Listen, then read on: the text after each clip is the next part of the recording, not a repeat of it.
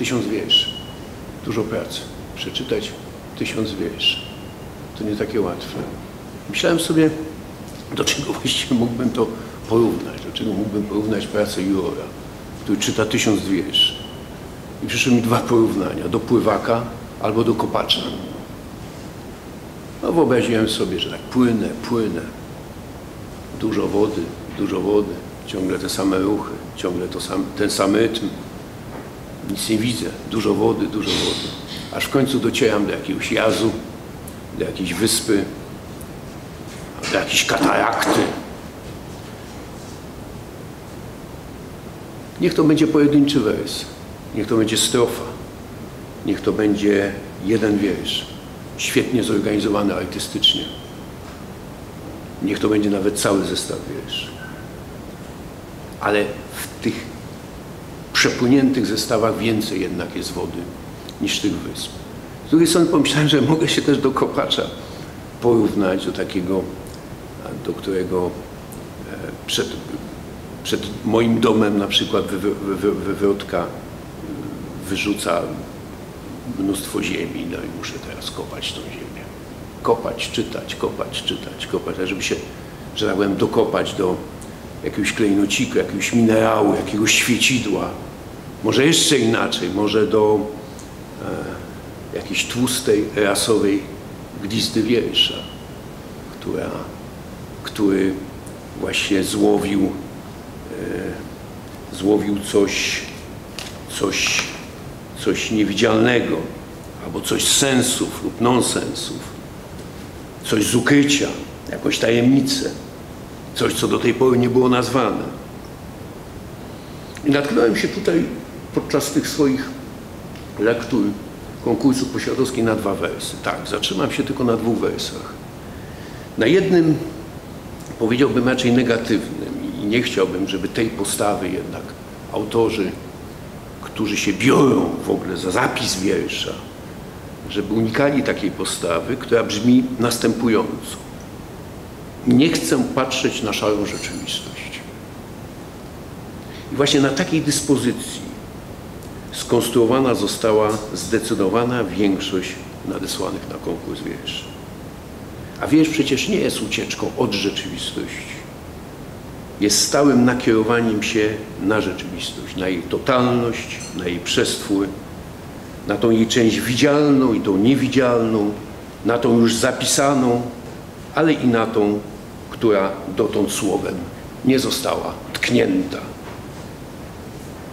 Przecież rzeczy, zjawiska, istoty są niewyczerpalnymi i niezużytymi. Posiadają złoża wciąż odnawialne pod warunkiem, że to nasze oko wewnętrzne ujrzy je w odnowie i przemianie. Że to oko wewnętrzne nie będzie patrzało jak, jak wół na malowane wyrota, że tak powiem. Albo w przypadku tutaj tego wersu, jak wół na szare wrota.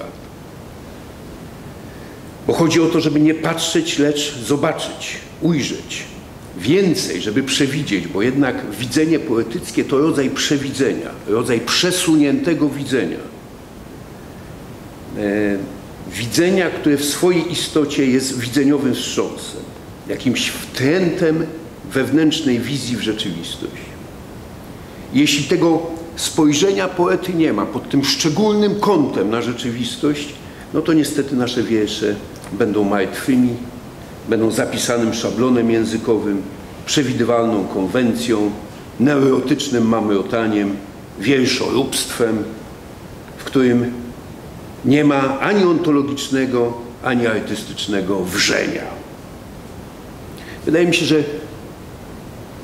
autor, który przynajmniej ma zadatki na poetę, e, przyklas, przyklaskuje ptakowi w locie.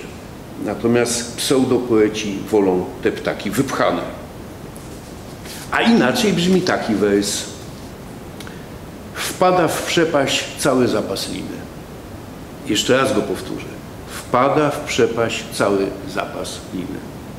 I oto uścisk rzeczy skończonej, jej migotliwości, jej obrotów i nieskończoności. Rzeczy oswojonej i tego, co nieodgadnione. I na takim styku, na takim styku proponuję młodym autorom konstruować swoje wiersze. Szanowni Państwo, w tym roku obchodzimy 40-lecie konkursu imieniem Haliny Poświatowskiej, konkursu poetyckiego. Zapraszamy serdecznie do udziału w uroczystościach. Już 7 listopada w Regionalnym Ośrodku Kultury o godzinie 16 będzie finał konkursu poezji śpiewanej. Następnie 8 o godzinie 17 spotkanie z tegorocznymi jurorami konkursu, a o 19 koncert Małgorzaty Bańki, która będzie e, śpiewała teksty Haliny Poświatowskiej. 9 natomiast zapraszamy Państwa do Filharmonii Częstochowskiej na finał konkursu, gdzie poznamy laureatów, a także będziemy mogli wysłuchać i obejrzeć spektakl Magdaleny Cieleckiej Milczenie Syren. Zapraszamy serdecznie. Ten konkurs y, imienia Haliny Poświatowskiej to konkurs organizowany w taki tradycyjny sposób. Wydaje się, że to bardzo dobrze. Nie mamy tutaj ani określonych tematów, ani możliwości pisania do określonych osób, bo jak wiem, nasze osoby nie były znane e, uczestnikom e, tego e, tutaj wydarzenia. Wydaje się, że to bardzo dobrze. Miałam wrażenie, że te zestawy były składane na pewnego rodzaju luzie w poczuciu takiej wolności twórczej. Trudno było przebić się przez tak wiele wierszy, ale ciekawe wydaje się to, że w tych naszych lekturach, e, lekturach osób, które pochodzą jednak z bardzo rozmaitych takich poetyckich okolic, e, te nasze wybory ostatecznie jakoś się często pokrywały. I wydaje mi się, że wiersze, które tutaj zdobyły największe uznanie, to były takie wiersze, które z jednej strony były w piękny sposób oderwane od rzeczywistości. Może źle to brzmi, tak, ale w takim sensie, że były e, dość abstrakcyjne, ale jednocześnie w bardzo interesujący sposób dociążone konkretem. E, I okazuje się, że świetnie daje się to połączyć. E, że pojawiło się kilka jakichś takich tendencji, które w ogóle w tej chwili są widoczne w polskiej poezji. Mieliśmy trochę zestawów na przykład związanych e, z tematami wiejskimi, ale nie tylko. Także to, w jaki sposób e, wyglądają te ostateczne nasze wybory, to dowiedzą się Państwo już niebawem, natomiast tyle mogę powiedzieć w tej chwili.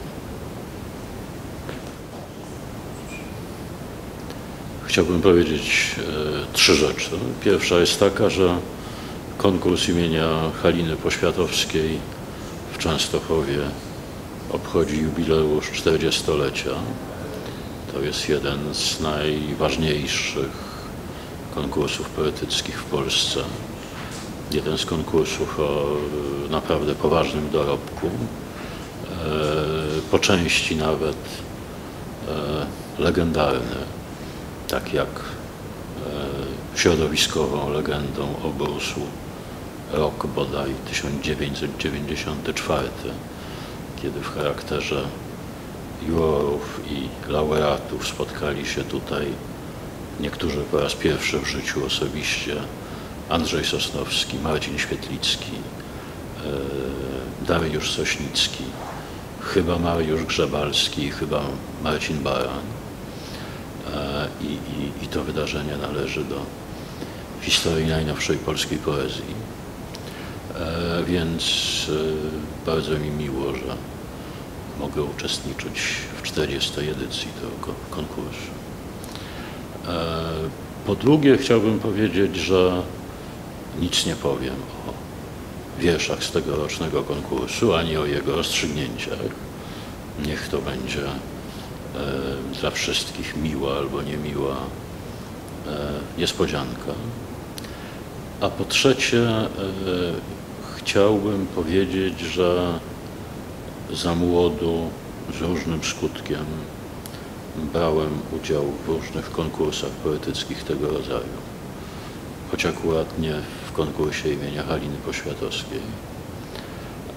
I mimo czasowego dystansu zdaję sobie sprawę, e, jak duże jest to dla e, uczestników e, wyzwanie, z jakimi trudnymi często emocjami. Wiąże się wysłanie wierszy na konkurs, jak wielka jest radość, kiedy e, zostaje się w konkursie zauważonym, jak duże jest rozgoryczenie i żal, kiedy się okazuje, że nasze wiersze nie znalazły uznania jury.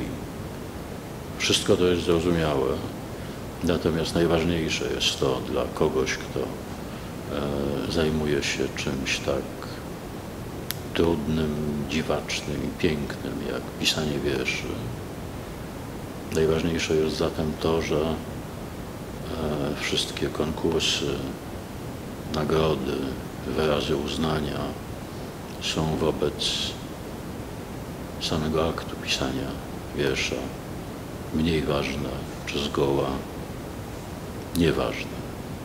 Więc chciałbym życzyć sukcesów i, i dobrych wierszy wszystkim, którzy zdecydowali się przysłać tutaj wiersze i tym, którzy zdobędą nagrody i wyróżnienia i tym, którzy ich nie zdobędą.